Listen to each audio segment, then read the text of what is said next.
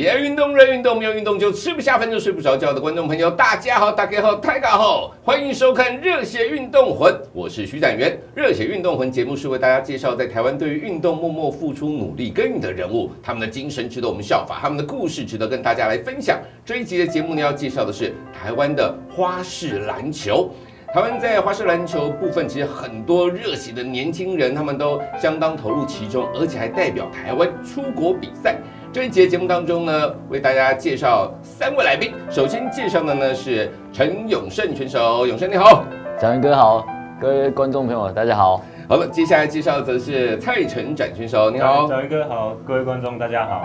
哎，接下来介绍则是曾焕勋选手，焕勋你好，小云哥好，各位观众朋友大家好。好的，这三位选手呢，今天来到我们节目，其实他们都是曾经代表台湾在国际性的花式篮球比赛有非常非常优异的演出，同时呢也得到不错的名次。而至于呢，这个陈永胜，永胜已经是教练级、教父级的人物了，在台湾的花式篮球界里面。那另外呢，呃，蔡成展他是在。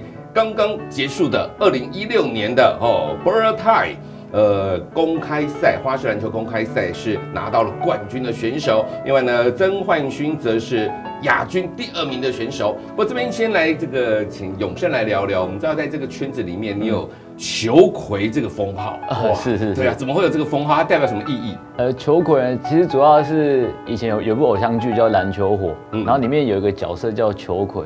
然后我就会饰演那个角色的替身，以及这部片的技术指导这样。然后从那一刻开始，学生就叫我球伟老师、球伟教练这样子。对对对，这个封号就像那个花魁一样，对对，是超厉害、顶级的。那你这个两位也是这个这个好朋友啦，你们觉得球魁这个封号它适合吗？很适合啊，非常适合啊！真的吗？你们也是啊，很酷的名字哦。然后他们也是，你们也觉得他名副其实？名副其实。不过呢，在这个呃，你们认识多久了？从什么时候开始认识的？呃，成长的话，应该从他国中的时候，差不多嘛，差不多国中的时候，差不多。对，国中的时候就认识到现在。是哦。对，然后像阿勋，就是郑焕勋选手，是大概一年前，对，一年前的时候认识的这样。呵呵。对对对对对。是哦，因为这个呃，永胜算是呃，今年是三十岁了啦。那这经历非常非常的丰富，而且在很多大大小小的表演场合都获邀去参与表演。那至于呢，这个陈展也才二十岁而已。嗯，对啊。那这个焕勋三十五岁了，是三十五岁亚军输给二十岁的。因为我接触花式篮球一年的时间啊，只有一年而已，就可以之前之前就都只有打篮球。是哦，哇，就一年就可以拿到第二名哎，真是相当不容易。不过这边真的要请永炫特别来谈一下，他们除了呃参加比赛之外，他们现在还办了一个哇，真的阵容非常的浩大，而且受到很多人关注的花式篮球公开赛，叫做 Border Time。好，这个比赛是什么样的一个比赛？呃，其实 Border tie 啊，它是从二零一四年开始成立的，然后 Border tie 主要的宗旨就是提供台湾的选手有一个。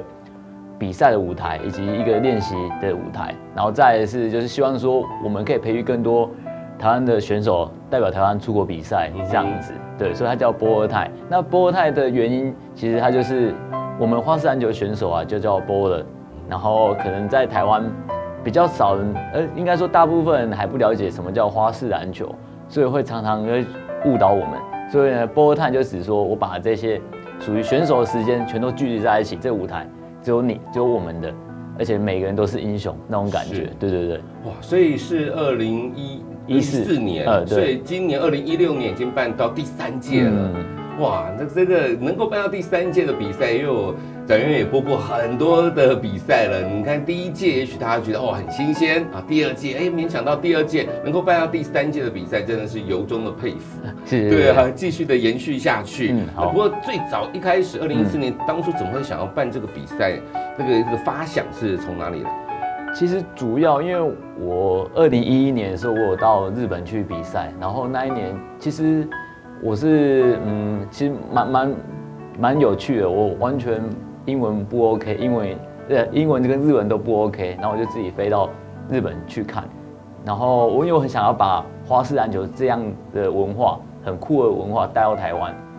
可是我后来发现说，好像如果只靠教学跟表演的话，可能不够力或者太慢了，没有效率。那我倒不如把整个文化、整个比赛、整个赛事带到台湾来。所以我在二零一四年的时候，我就决定说，好，我决定了一定要不管怎样，就要创造一个舞台出来，然后跟日本的选手、跟国际上的选手做一个衔接的动作，这样子。嗯哼，不过这边也跟大家这个特别说明一下，这个 bowler 就是 B A L L 就是球嘛，哦，对，大家都知道 B A L L 再加上 E R，这个 bowler 这个名称是特别就是跟花式篮球有关联性的。呃，他应该是算是国际上讲 bowler 的话，就是指说球类艺术家，所以像是花式篮球以及花式足球的话，我们的这些选手、这些运动员都叫 bowler 这样子。哦对对对。是哇，这个看我们节目也长一下知识了，有没有？哈，就是花式的球类的艺术家，就叫做 bowler。那其实呢，在这个呃 bowler tie 这个比赛办到第三届，很重要的一点就是参加的人数呢，我说现在规模越来越大了。嗯，我记得没错的话，第一届差不多三十几个人，然后第二届到五十个人，然后到这一届可差不多有七八十个选手这样子。对，它是持续的增加，而且你会发现说，选手除了越来越多人参与之外呢，本身的素质、他的水准也一直在突破当中。嗯我觉得这点是我觉得非常很欣慰一件，很开心，对，超开心的，真的对对哦，对对对。从三十个人，可能在这个呃早早上这个妈妈跳土风舞就超过三十个人，然后越来越多志同道合的这一起来加入，包括连国外的选手都加入。对，冠军谈一下喽，参加这个比赛自己的感想，最后冲到冠军。我一开始我就只是很喜欢花式篮球，然后每天就练习，我完全没有想到会有这个舞舞台，然后有了这个舞台，就会让我更想要赢，嗯，然后就不断的练习去冲突破，大概就是这样那你是第一届三十个人其中之一吗？你第一届有参加吗？有啊，第一届有参加，他他他第一届有参加，对烂，烂的夸张，也没有啊，就就是尝试。第一届哇，就是第一次参与这么大型的一个比赛就对了。呃，这三十个人当中，你觉得表现不如预期？嗯，我因为我出的招式全部都掉，嗯那时候因为我一心只想要出大招，啊然后一直狂掉，哦之之后我就有改策略，呃然后就越来越好，就很平稳的，对对对，就可以。好了。那这个焕勋呢？呃，我就是因为透过波勒探的关系，才认识台湾有花式篮球这个舞台，然后就开始练习。对，也其实也蛮感谢波勒探这个舞台，然后就球魁创办这个波勒探，啊，让我们在练习的时候更有动力。是，所以你第一届的时候就有有他们办第一届的时候，你就有观察，哎，怎么有这个比赛？那还蛮酷的。对，第一届还不太清楚，那第二届我有去现场看。哦，你那是当观众。对，然后他有那时候第二届有邀请日本的选手，那平常在网络看到的画面，哦，就活生生在我眼前，很震撼。哇，对，然后就更就非常确定我就是要这个玩花式篮球。所以啦吼，结果你第一次参赛就拿到第二名了。呃，也不算第一次比赛，那在波勒汉之前，我有跟球魁去九州，然后自己再去静冈，跟去跟日本的选手做交流。真的很有心，对。不过能，能够在台湾，我们就是有这样的一个比赛，呃，真的很不容易。那台湾有其他类似的花式篮球比赛吗？呃，如果像是今年的话，以以往前两年都只有波尔泰，然后今年的话，像南山高中它有办一个校园交流赛，然后以及波尔泰这边有特别在办一个新人挑战赛，就是波尔泰有晋级的选手都不能参加，然后给一个新的选手他有一个表现的机会。另外还有像高雄他们有一个比赛，然后以及波尔泰这样子。嗯。对对对。不过呢，这个波罗泰在台湾办到第三届了，我再再次强调，真的很不容易，而且邀请到国外的选手来参加。那呃，永胜可不可以谈一下邀请国外选手，就是变成一个国际性的一个比赛的困难度、困难点在哪？呃，一就是主要波泰本身的内容，它的比赛强度要够吸引人，哦才有办法让国际选手他愿意自掏腰包来这边参加比赛。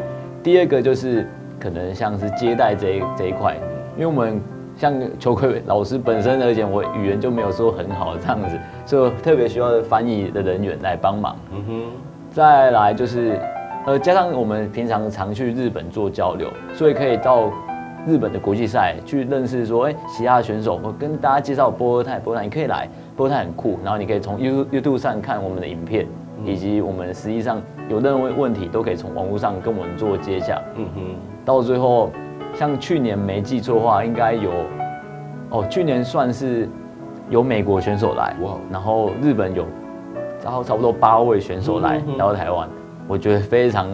非常酷的一件事情，然后今年又有波兰选手来，波兰，对对对，就变成是很多国家的选手，他会自己慕名而来来参加这波尔泰，然后我就觉得超级开心的，是，对对对。不过讲到这个，刚刚这个有生人讲说慕名而来哦，我这边还是要问一点实际的问题，他有奖金吗？呃，我们波尔泰其实没有奖金，但是有提供礼券跟一些商品这样子，对，没没有任何费用。不过呢，其实有国外选手来，而且在现场，这个就是你们有没有从他们身上学到一些，学到学习到什么东西，学到个几招？阿勋呢？呃，像这一次的裁判是日本的两次冠军，那本看从影片看是觉得，非啊，就是他练习的态度非常。令人敬佩，我已经觉得我自己很努力了。然后我看到他，我就觉得我好懒惰。对对对，那就从这个哦，原来人家为什么可以拿冠军，就是这样子练出来。是，其实说到阿勋呢，他虽然他玩一年的时间就拿到亚军第二名，但是呢，他是我在台湾啊见过，应该算是唯一一位，就是他可能平常白天要上班，就每天晚上报道，每天练习。从不缺席，他就为了想变强，一直练，一直练，一直练。这点我觉得是非常让人敬佩的一件事情。他可以把他时间分配到这么刚好，而且他又不会去觉得下雨天，或者是今天身体不舒服，或者是怎样子而去松懈任何练习。我觉得这个坚持到底，我就很佩服他这样子。是，对。好，节目进行到这边呢，我们要请观众朋友也先休息一下喽。待会广告回来之后，再跟大家多聊一下花式篮球。